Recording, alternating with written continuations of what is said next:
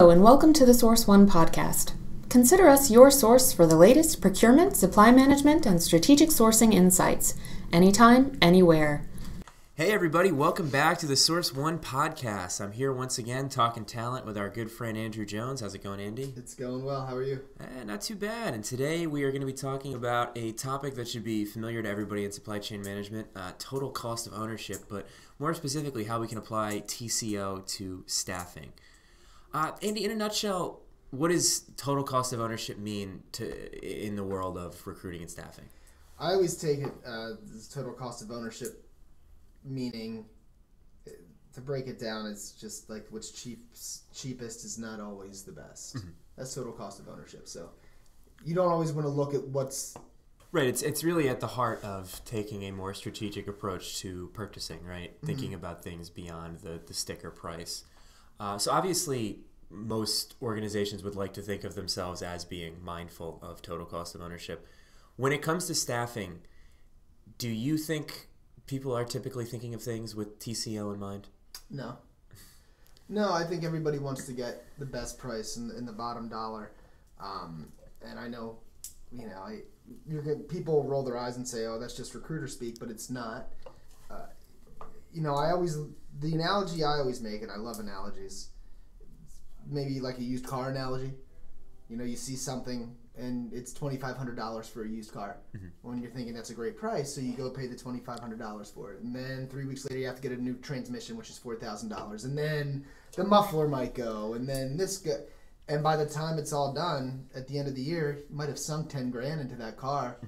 when you could have paid, let's say, nine thousand dollars and not had any of those problems for the year, um, or even, I mean, we talk about housing, new construction. Mm-hmm. I mean, the reason why new construction is more expensive is because everything's new, mm-hmm. and you know you can go into an older house and then you've got to replace hot water heater in six months, which is ten thousand dollars. Mm-hmm. Then you're you know, maybe looking at having to get a new roof on that house, which might be another $10,000. So at the end of the day, what did you actually save by going cheap up front? You didn't save anything.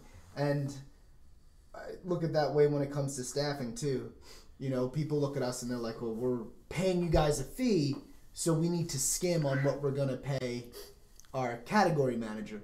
Well, if you're going to go cheap on, let's say, a category manager for a position that you need to fill, you bring somebody in for you, you bring somebody in that's cheap, you might have to train them up, which mm-hmm. could take two months of ramp up time, which you don't have uh-huh. because you're not completing projects, which means you're not getting revenue in the door, which means your reputation suffering. So at the end of the day, had you actually paid another twenty thousand dollars, you could have made maybe another 100 mm-hmm. So that old cliche, "You get what you pay for," certainly rings true when it comes to staffing and recruiting. Always, I think it rings true in all everything. the time. Yeah. What is the process of calculating TCO look like? I imagine it comes down to you know um, looking at more than salary. How, how does a, an organization calculate what they uh, should spend on a candidate? Um, I think they, they need to know the market. Um, they need to know what people are making for like an IT category manager. What's the average salary for an IT category manager? And then understand that we're not living in average time, so you're going to have to pay a little bit more for that. And then you also need to know what projects you have coming through and how important the filling of the role is. You you might have to look at going another twenty to thirty thousand dollars above what the market is because to secure somebody that's worth it, they're going to want that.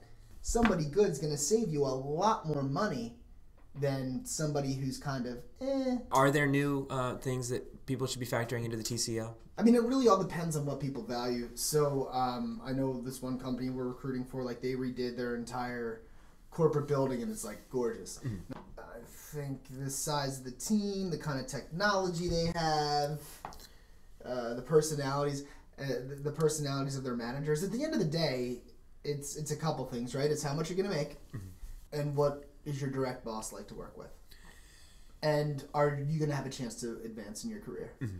Those are the three things. I mean, like I said, you go to every recruiting seminar, it's like, well, tell them about this and casual Fridays and this. Most people don't really care a whole lot. Rather than coming into the um, interview and recruiting process with a set in stone this is what we're paying this is what we're offering do you recommend they through that interview process learn to kind of tailor their compensation packages to the candidate figure out what that candidate's values are and then really um, uh, you know come up with something that's going to serve their mm-hmm. total cost of ownership and also yeah, well, I mean, unfortunately, happy. before you go ahead and release something like this, you've always got to set a budget. That's just the way it is. It's like anything that you do. Period. I mean, if you shop for deck furniture or a car. Like you, you have a maximum number that you think you want to go to mm-hmm. until you actually go out and hit that mark and say, well, hey, listen, I thought fifteen thousand dollars for a brand new X, Y, and Z was going to be enough, but obviously it's going to cost me seventeen. But you should realize that pretty quickly because mm-hmm. you're talking to candidates. Either it's you or it's us, and you know as recruiters, I think we all have a reputation that we're trying to max out salaries anyway because we get paid on the fee of the first year. But the fact of the matter is, there's not one single recruiter out there that I know who would rather have zero placements versus one placement. Mm-hmm. I don't know too many recruiters. I actually don't know any that are going to go ahead and max out a salary just to max out a salary. You know, mm-hmm. it, it doesn't happen. Um, do you think companies should give themselves a little bit more leeway where budgets are concerned in these sort yeah. of situations? Yeah, you have to. Mm-hmm. You, you absolutely have to, especially now. I mean, we might have a different conversation four years from now, but as of right now, yeah. You've been listening to the Source One podcast. For more strategic sourcing and procurement insights every day, visit our blog, The Strategic Sourcerer.